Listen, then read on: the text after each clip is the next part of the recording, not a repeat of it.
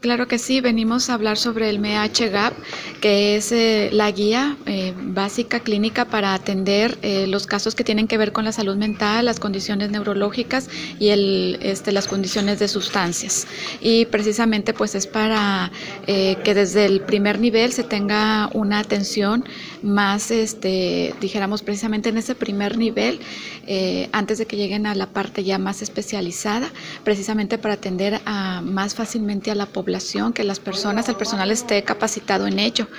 Eh, entonces se trata también de apoyar en lo que sería la prevención del suicidio, la detección de depresión, eh, los abusos en las sustancias para poder intervenir a tiempo. Ahorita de momento es para el personal de salud, eh, lo que corresponde aquí a, Piedras Negras. Sin embargo, hemos estado trabajando desde el año pasado eh, con otras instancias y coordinándonos con otras instituciones. Hoy día es nada más para ellos, pero le digo, hemos trabajado ya con Secretaría de Educación, la CEDU, eh, con otras instancias a nivel estatal. Entonces se trata de ir sensibilizando a cada sector, irle dando los elementos necesarios para que puedan ir este, detectando abordando desde su campo de acción.